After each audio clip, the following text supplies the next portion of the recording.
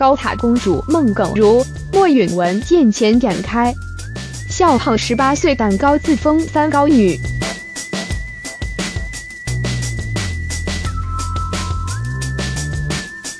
一年一度的国际影视盛事——两千零十八香港国际影视展于今日十九分之三正式开跑。东森电视也获邀参展，并以东森创作两千零十八最新戏剧《高塔公主》主演孟耿如、莫允文代表出席，为该剧宣传造势。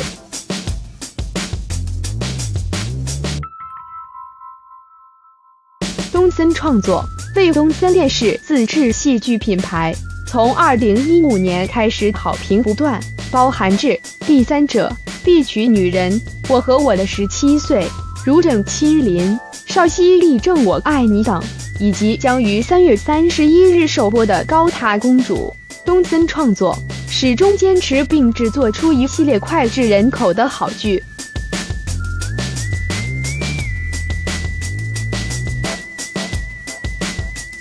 于开展当日靓丽出席的高塔公主主演孟耿如、莫允文。也开心表示很荣幸能受邀参与此次盛会。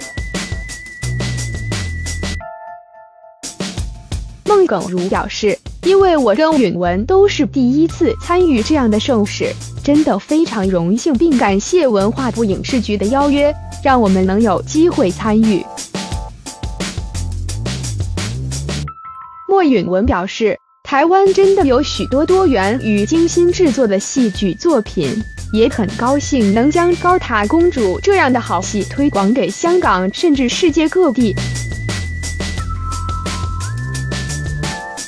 耿如也说到，有别于过去女性找对象总是要求要三高男，要另一半身高高、薪水高、学历高，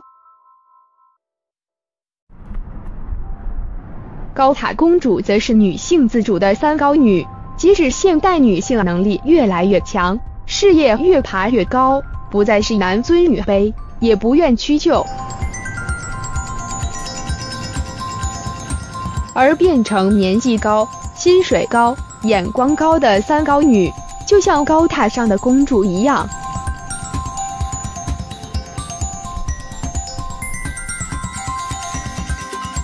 活动中也准备了象征三高女的三样小物，分别是薪水高的美元大钞。眼光高的眼镜和年纪高的蛋糕，两人在现场一拿起道具就整个玩开。孟耿如笑说：“我还自己带了十八岁的蜡烛来，因为女生都会说自己是永远的十八岁。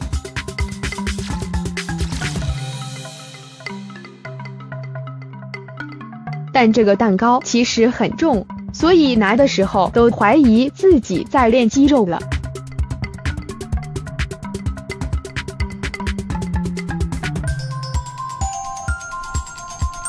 莫允文看到一叠一叠的假钞，还做事要整盘端起，才俏皮的拿住眼镜和假钞拍照，逗趣反应立刻引起现场一阵大笑。